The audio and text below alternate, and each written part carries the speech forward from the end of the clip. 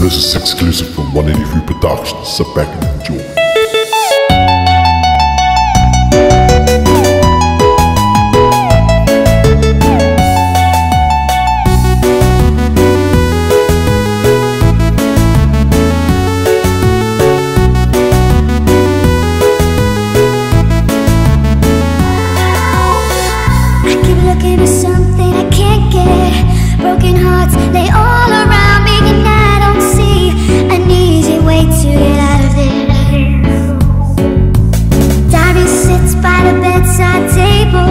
curtains are closed.